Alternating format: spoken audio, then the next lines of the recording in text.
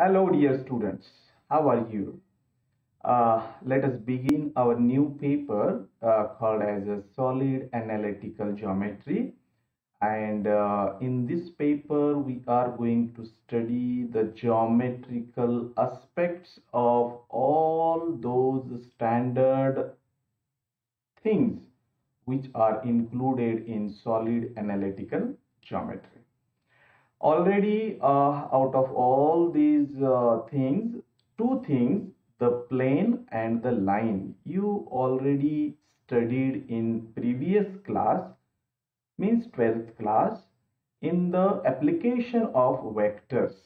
If if you are remembering after the chapter vector there is a one more small chapter or two chapters maybe the plane and the line and in that chapter already you have studied how to represent a line in three dimensions using direction ratios and direction cosines and how to write the equation of the plane in vector form as well as in standard form but वो twelfth में vector का application में था but यहाँ हम purely पढ़ेंगे geometry के view से तो our first chapter is the plane.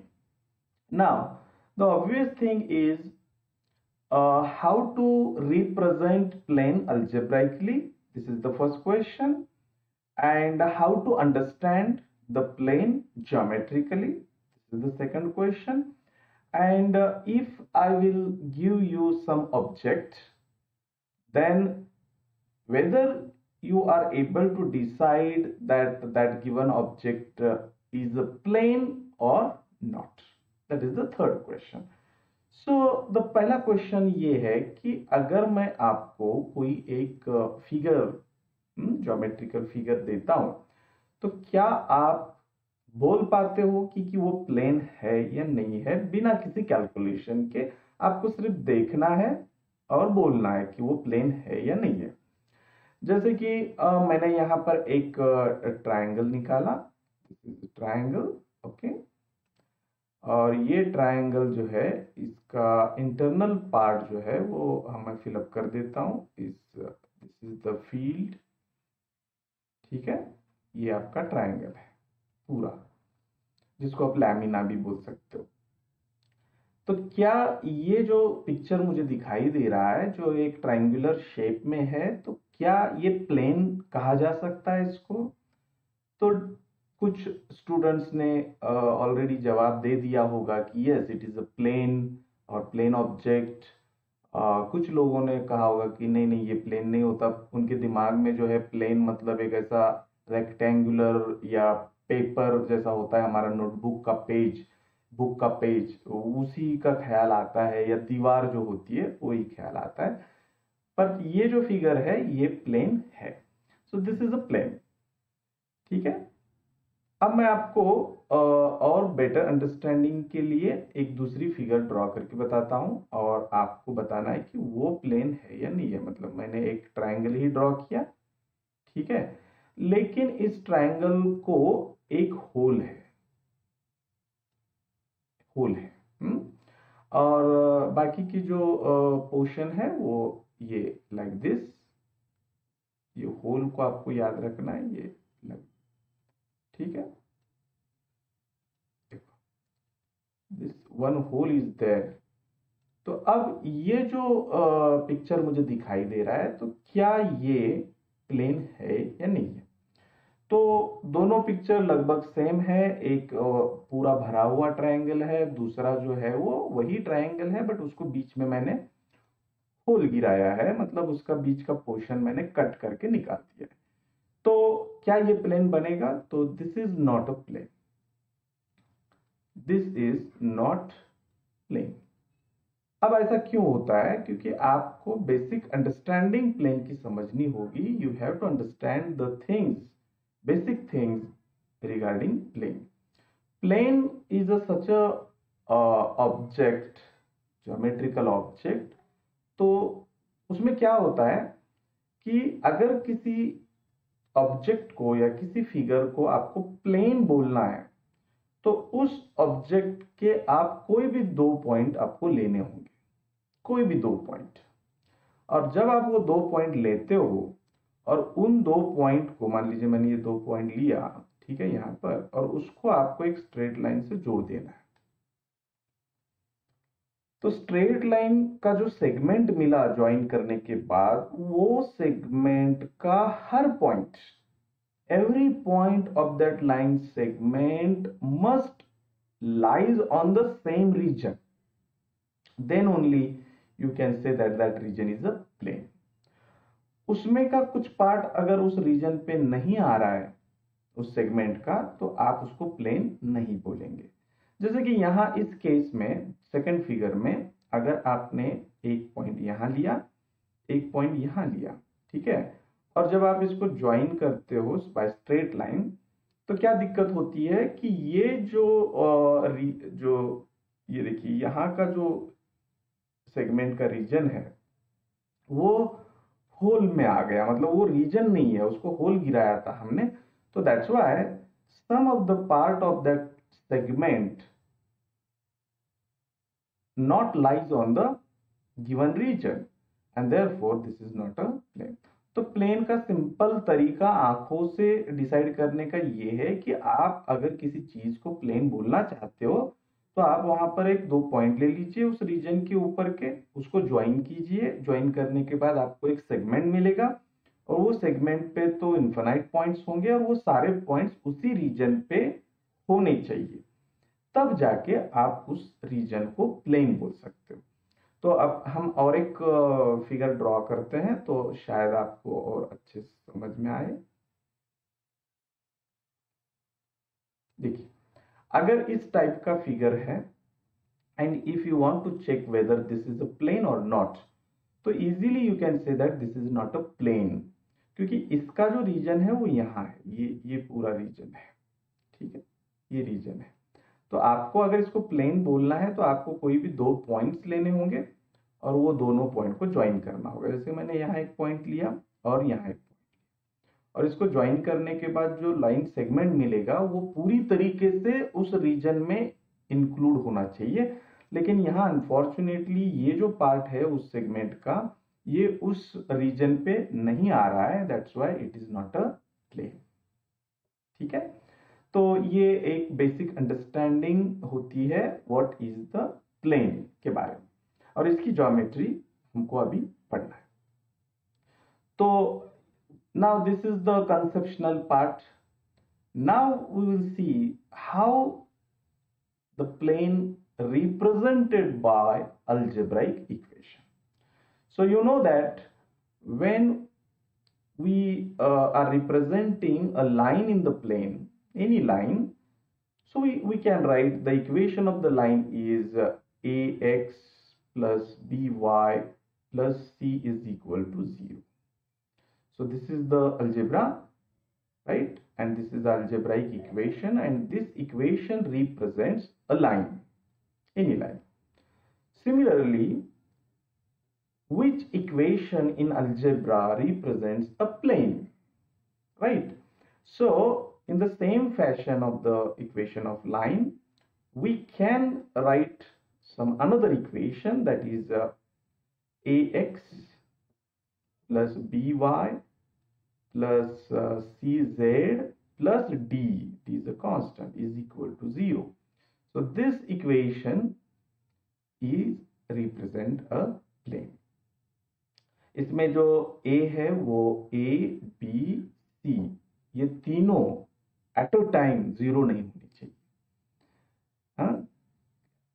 सही सही बोल रहा हूँ ना मैं? आप आप आप देखिए what will happen when all A B C will become zero तो when A become zero the X term will vanish b will become zero then uh, y term will vanish. And when c equal to zero तो A B सी सारे zero रहेंगे तो उस expression में variable की term ही नहीं दिखेगी। and if there is no uh, variable term then uh, how we can represent plane right तो इसमें कंडीशन ये है कि a b c which are the coefficients of x y z all are at a time not zero ठीक है so how you can uh, understand this equation so this is a constant this is the variable this is the another constant multiplied by another variable third constant multiplied by third variable and this is the only constant and it is equal to 0 so in in this equation in each term देखिए आप each term there is only one variable मतलब इसमें x into x नहीं है x into Y की term नहीं है z square की टर्म नहीं है। एक टर्म में अगर वेरिएबल है तो वो अकेला वेरिएबल रहेगा। दूसरे टर्म में वेरिएबल है तो वो अकेला रहेगा।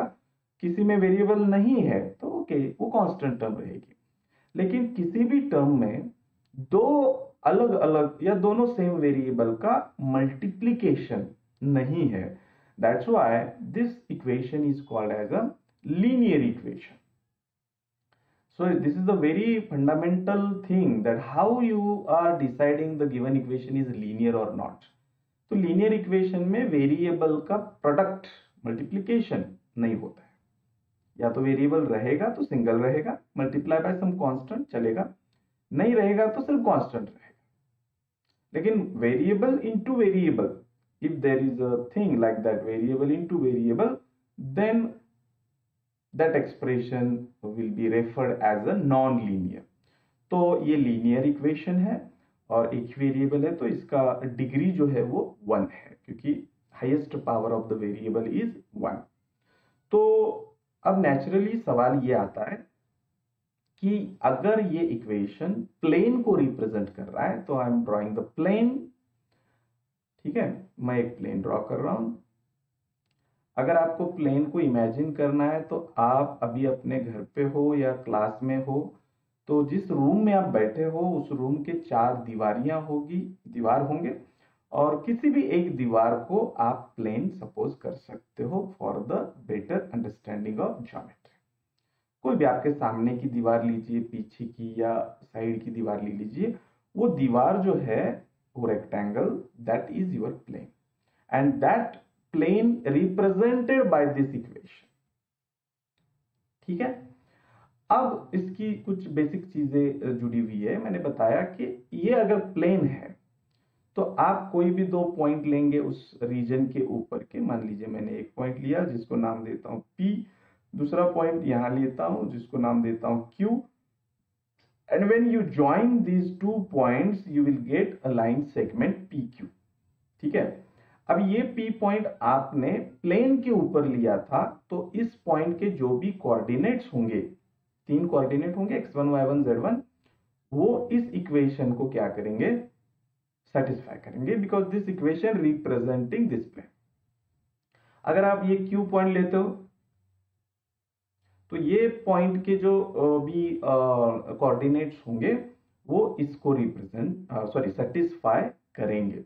सेटिस्फाई करने का मतलब जानते हो आप कि इसका जो पहला कोऑर्डिनेट होता है वो एक्स के जगह आप पुटअप करेंगे, दूसरा कोऑर्डिनेट y की जगह पुटअप करेंगे और तीसरा जेड की जगह पुटअप करेंगे और चारों टर्म का एडिशन आपको एग्जैक्टली exactly ज़ीरो या राइट right साइड जितनी है उतना आएगा तो उसको बोलते हैं सेटिस्फाइड करना। अब आपने इसको ज्वाइन किया। ज्वाइन करने के बाद आपको एक सेगमेंट मिला और उस सेगमेंट पर there are infinite points and all the infinite points on that segment also must satisfy the same equation तो आपने अगर ये प्रूव कर दिया कि P सेटिस्फाई कर रहा है, Q सेटिस्फाई कर रहा है, और P और Q को ज्वाइन करने के बाद जो सेगमेंट मिला, वो सेगमेंट का हर पॉइंट भी इसको सेटिस्फाई कर रहा है। तो आप इसको प्लेन बोल सकते हो। ठीक है? तो एक बेसिक सवाल ये था। अब हम थोड़ा सा इसका ये जो मैंने भी, जो भी मैंने डिस्कस किया, उसको थेरम की शक्ल में देखते हैं। So what is the theorem the statement of the theorem is putting your theorem that is every equation no doubt this is prove that every equation of the first degree of the first degree of the first degree in xyz in the variable x, y, z represents represents plane. This is the result and we are going to prove this result. So every equation of the first degree means uh, uh, उस equation में आप uh, हर term में एक ही variable ले सकते हो अगर लेना है तो you will never choose a product of variable आप मैक्सिमम तीन लेंगे तो ऑब्वियसली वही इक्वेशन आएगा A X plus B Y plus C Z plus D is equal to zero so let us start the proof तो representing a plane है ना? तो आपको क्या करना होगा? सबसे पहले प्रूफ लिखिए। इक्वेशन uh, आपको एक लेना होगा जो इसकी डिग्री फ़र्स्ट होगी और उसमें वेरिएबल है। So consider consider uh, equation of first degree in xyz is consider equation of first degree of first degree in xyz is is uh, I'm writing like this. This is ax plus by plus cz plus d is equal to 0 and let me call this expression is an equation number 1 so this is a selection of respective equation. And now we are going to prove that this equation representing a plane always. So how you can prove that this equation representing a plane so for that purpose, you have to take two points on this region, right? Uh, this is now region, only region. इसको plane नहीं बोलेंगे हम। वो तो prove करना है कि ये प्लेन है। तो अभी इक्वेशन वन जो है वो जस्ट एक इक्वेशन है और वो इक्वेशन कुछ रीजन प्रेजेंट कर रहा है। और उस रीजन को प्लेन प्रूव करना है। ठीक है? तो इसलिए बार बार मैं गलती से प्लेन भी बोला तो वो मैं गलत बोल रहा हूँ। क्योंकि ये अभी प्लेन नहीं है, अभी प्लेन तो हमको प्रूव करना है। तो this is just region equation one representing what just region right so दो पॉइंट लेने होंगे हमें। What is the strategy strategy ये है कि अगर किसी रीजन को प्लेन प्रूव करना है तो आप पहले दो पॉइंट लीजिए उस रीजन के ऊपर। अब आपने दो पॉइंट लिए उस रीजन के ऊपर, इसका मतलब वो पॉइंट उस रीजन को क्या करते होंगे? सेटिस्फाई करते होंगे तो आपको फिर दो सेटिस्फाई करने वाले इक्वेशन लिखने होंगे। फिर आपको उन दो पॉइंट्स को ज्वाइन करना होगा, फिर आपको एक सेगमेंट मिलेगा। फिर सेगमेंट के ऊपर का कोई भी एक पॉइंट आपको सिलेक्ट करना है, और वो पॉइंट सेगमेंट के ऊपर का जो लिया, वो पॉइंट के कोऑर्डिनेट्स भी इस रीजन के इक्वेशन को सेटिस्फाई करते हैं। ये प्रूव करना होगा। तो ये एक बार आपने कर दिया तो फिर इसका मतलब उस सेगमेंट का हर पॉइंट उसको सेटिस्फाई करेगा। एंड uh, फिर आपका ये रीजन का इक्वेशन को आप प्लेन का इक्वेशन बोल सकते हो। फाइन तो अभी क्या करना होगा? दो पॉइंट्स लेने होंगे। तो लेट एक पॉइंट को नाम देता हूँ मैं P जिसके कोऑर्डिनेट्स रहेंगे x1, y1 एंड z1 और दूसरा पॉइंट रहेगा Q जिसके कोऑर्डिनेट्स रहेंगे x2, y2, z2 B on one ठीक है ये दो पॉइंट्स मैंने अब ये P lies on equation 1 it means that this point or its coordinates satisfying equation 1 so therefore i am getting one equation so so, satisfying का मतलब होता है just replace x by x1 y by y1 z by z1 keep all the terms as it is and equate with zero so I am getting ax1 plus by1 plus uh, cz1 plus d is equal to 0 and this is uh, represented by equation 2 and uh, this q also satisfying equation 1 so therefore ax2 plus by2 plus cz2 plus d is equal to 0 and uh, let me call this expression is an equation number 3 fine. Now uh, what we should do? Join p and q. Join p and q. What you will get after joining p and q you will be getting a line segment pq okay. So for your better understanding uh, see here this is a line segment p this is q. Now you have to consider any point on this segment any point. Suppose i am considering here point. This is r. So this r intersecting segment pq internally in some ratio i don't know what is the ratio but when we don't know the ratio always we are taking the ratio is k is to 1 so by using the section formula, we can calculate the coordinate of this point r with ratio k is to 1 और ये r के जो भी coordinates रहेंगे ये इसने भी equation one को सेटिस्फाई करना चाहिए प्लेन बनने के लिए।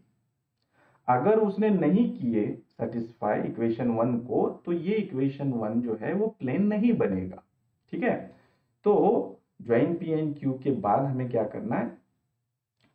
Take any point R lies on the segment P Q तो let let R be any point on segment on segment PQ right? So consider that point R intersecting that segment PQ in the ratio k is to 1 so let uh, k is to 1 be the ratio ratio that uh, R dividing PQ. ठीक है? Q को ये figure को आप देख सकते हो। अब हमें सेक्शन फॉर्मूला यूज़ करना होगा। तो क्या रहता है सेक्शन फॉर्मूला मैं समझा देता हूँ। देखिए यहाँ पर आपने के केस टू वन लिया। इसके कोऑर्डिनेट्स है X one Y one Z one और इसके हैं X two Y two Z two समझने के लिए आपको सेक्शन फॉर्मूला जो आर के there for bisection formula bisection formula section formula से हम आर के कोऑर्डिनेट्स निकालेंगे. We get we get the R point और इसके कोऑर्डिनेट्स अब हम निकालेंगे. तो फ़र्स्ट कोऑर्डिनेट कैसे निकलेगा? ये जो के है रेशो उसका मल्टीप्लीकेशन आप इसके साथ लेंगे. और ये जो रेशो का पार्ट है, उसका मल्टीप्लीकेशन आप इसके साथ लेंगे ऐड करेंगे और डिवाइडेड बाय रेशो का एडिशन करेंगे। तो जैसे कि आएगा K X two K X two plus one into X one मतलब X one divided by ratio का एडिशन रेशो था के एस टू वन उसका एडिशन ये हो गया आपका आर का फ़र्स्ट कोऑर्डिनेट वैसे ही के का मल्टीप्लीकेशन आप सेकंड कोऑर्डिनेट के साथ लेंगे। हुँ? वो क्यू के साथ ही लेना है। तो यहाँ आ जाएगा आपका K X two plus one into X one मतलब एक्स वन और नीचे आएगा आपका सॉरी एक्स टू नहीं वाई टू लेना होगा। To this is Y one और यहाँ आएगा K plus one and the third coordinate of R is K Z two plus one into Z one mean Z one divided by the sum of the ratio तो ये हो गया any point lies on the segment P Q और इसने भी equation one को क्या करना चाहिए? सेटिस्फाई करना चाहिए। तभी इक्वेशन वन को हम प्लेन बोल सकते तो लेट अस चेक वो सेटिस्फाई uh, करता है या नहीं करता। ठीक है? तो अभी सेटिस्फाई का मतलब होता है एक्स की जगह ये कोऑर्डिनेट डालेंगे वाई की जगह ये और जेड की जगह ये और देखेंगे ज़ीरो आता है क्या नहीं आता है। तो L H S of equation one पहले हम लिखते हैं L H S LHS of equation 1 that is equal to uh, AX A और x के जगह r का पहला कोऑर्डिनेट डालना है that is K X two plus X one divided by K plus one plus B y की जगह r का सेकंड कोऑर्डिनेट आपको पुट करना है K Y two plus Y one upon K plus one ठीक है? एंड सी जेड के जगह आपको थर्ड कोऑर्डिनेट आर का पुटअप करना है that is K Z two plus Z one divided by what is that that is K plus one and the, k plus 1 and the last term it simplify करना है इसको और ये सब का addition right hand side of equation one मतलब zero आना चाहिए। तो देखते हैं क्या होता है, ठीक है? So how to add all these four terms तो देखिए यहाँ पे फ़र्स्ट टर्म में डिनोमिनेटर है के प्लस वन यहाँ पर भी के प्लस वन है, यहाँ पर भी के प्लस वन है और यहाँ के प्लस वन नहीं है। तो अगर आपको चारों टर्म का एडिशन करना होगा तो आपको सारे टर्म्स के डिनोमिनेटर इक्वेट इक्वल करने होंगे। यहाँ पर नहीं था, इसलिए मैं यहाँ पर क्या करता हूँ के प्लस वन से मल्टीप्लाइंग डिवाइड करता हूँ, ताकि सब टर्म का डिनोमिनेटर सेम हो जाए। हाँ ये for the sake of simplification हम करते हैं ऑलवेज तो इक्वल टू अब हम क्या करते हैं कि ये जो आपका डिनोमिनेटर जो है one upon K plus one इसको हम लेते हैं कॉमन ठीक है? अब कॉमन लेने के बाद कॉमन लेने के बाद अंदर क्या बचा? अंदर बचेगा न्यूमरेटर के टर्म्स ए के साथ मल्टीप्लाई होकर। तो ए मल्टीप्लाई होगा फ़र्स्ट टर्म को मतलब यहाँ आएगा K okay A X two plus A X one ये फ़र्स्ट टर्म हो गई प्लस सेकंड टर्म आएगी K B Y two plus B Y one फिर आएगी Z two plus C Z one फिर आएगा आपका d इंटू के और फिर d इंटू वन भी आएगा दैट इज़ d यस ठीक है? अब देखिए इसमें आप गौर से देखेंगे तो आपको समझ में आ जाएगा कि यहाँ के आपको दिख रहा है, यहाँ नहीं दिख रहा है। यहाँ के आपको दिख रहा है, ये अगली टर्म में नहीं दिखाई दे रहा है। यहाँ पर भी के है, यहाँ पर भी के है। मतलब out of eight terms four terms में के है। तो जिसमें जिसमें के है, उसको हम एक साथ जमा करते हैं, उसमें से के कॉमन लेते हैं और ब्रैकेट में लिख देते हैं। और बचे हुए टर्म्स जिसमें के था ही नहीं, वो भी चार टर्म्स है, उसको हम एक अलग ब्रैकेट में ले लेते हैं। समझ रहे हैं तो अब हम इसको थोड़ा और अच्छे से सिंप्लीफाई करते हैं। तो ये one upon K plus one हमने एज इट इज़ लिखा। अब ये जो जिसमें जिसमें के था, उनको एक साथ लेकर के को हम लेते हैं कॉमन तो यहाँ बचेगा ए एक्स टू ठीक है? प्लस बी वाई टू यहाँ का। Plus C Z two plus D और जिसमें के था ही नहीं, उनको हम एक साथ लेते हैं तो उसमें आएगा A X one plus B Y one plus C Z one plus D तो इस तरीके से ये दो ब्रैकेट को हमने सेपरेट किया। If you look at the first bracket you can easily observe that this is nothing but equation number 2 का LHS देखिए and uh, if you see this bracket this is the LHS of equation number 3 and already in 2 and 3 the value of this LHS is 0. So from 2 and 3 we may take the value of this bracket is 0. So you, you mention here from 1 and 2 uh, sorry 2 and 3 this is keeping as it is this is a k and the value of this bracket from equation 2 is 0 plus and the value of this bracket from equation 3 is also 0 तो ये 0 plus 0 हो जाएगा and you are getting what 0 तो क्या हो गया बताइए इसमें ये हो गया कि जो आर था सेगमेंट के ऊपर का कोई भी पॉइंट उसने भी इक्वेशन वन को क्या कर दिया सेटिस्फाई कर दिया और ऐसा जब होता है तो ऑब्वियसली वो रीजन क्या रहता है? प्लेन एंड दैट्स वाई आप ये बोल सकते हो कि पी क्यू सेगमेंट का हर पॉइंट इक्वेशन वन को सेटिस्फाई कर रहा है। That's why equation one represents a plane जो कि हमारा थ्योरम का क्या हो जाएगा? एंड हो जाएगा।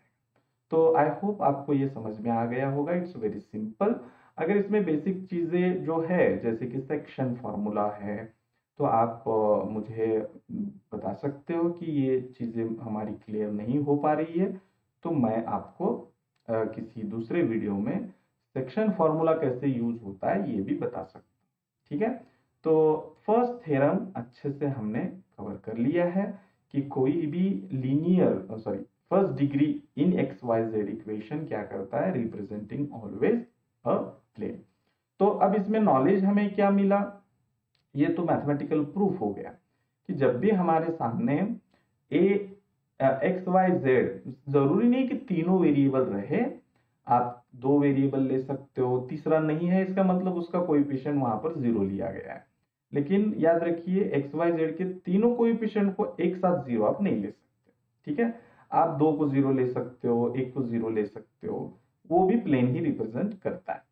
तो जब भी कोई अल्जेब्राइक इक्वेशन जैसा कि A X plus B Y plus C Z plus D हमारे सामने आता है तो वो अल्जेब्राइक इक्वेशन को देख के हमारा ब्रेन जो है, वो किसी ज्योमेट्रिकल फिगर को ड्रॉ करेगा ब्रेन के अंदर। एंड राइट तो ये एक अजीब कनेक्शन होता है अल्जेब्रा और ज्योमेट्री के बीच में।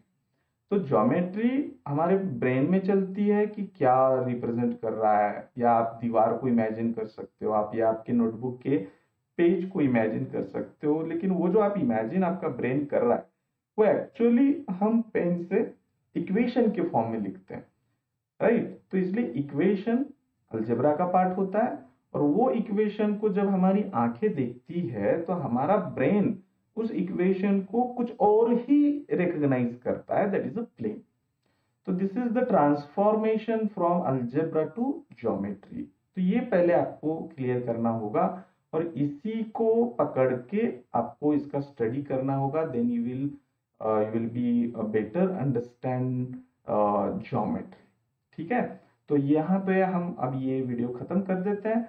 और इसको आप रीराइट कीजिए। अगर आपको चाहिए तो इसके नोट्स जो है, वो भी मिल जाएँगे। आप इस वीडियो के डिस्क्रिप्शन बॉक्स में एक लिंक दिया जाएगा। उस लिंक में आपको ये नोट्स मिलेंगे। आप इसको डाउनलोड कर सकते हो अपने मोबाइल पे या अपने पीसी पे। लेकिन मेरी सजेशन ये रहेगी कि इंस्टेड ऑफ़ डाउनलोडिंग आपको जो जो चीज़ें समझी है, वो चीज़ों को आप अपनी लैंग्वेज में हम्म जैसे कि आप किसी को समझा रहे हो कि क्या है, क्यों लिया, कैसे हुआ, ये आप अपनी भाषा में उसका प्रूफ लिखने की कोशिश कीजिए। वो आपके कॉन्फिडेंस को इन्हांस करेगा। ठीक है? तो ख्याल रखिए। Bye bye